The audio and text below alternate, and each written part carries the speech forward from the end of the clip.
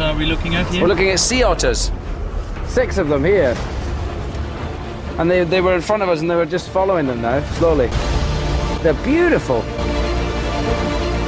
They go down to the bottom, they get a stone, and they go down to the bottom, they get a seashell, and then um, like a clam or something like that. And they come back up and they and they roll on their backs, and then they smash the shell with the stone like that, and then eat the eat the uh, mussel or whatever is inside. Go down for another one, for the stone.